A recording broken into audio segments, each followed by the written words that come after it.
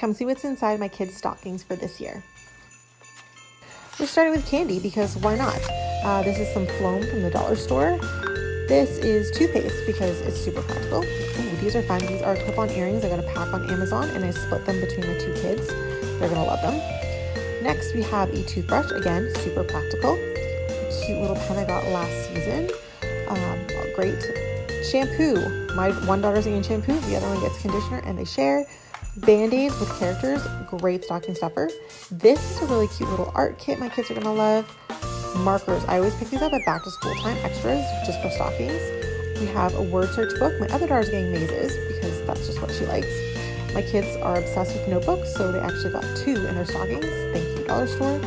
Glue stick because they go through that like crazy. I got tiny mittens because they need little car mittens.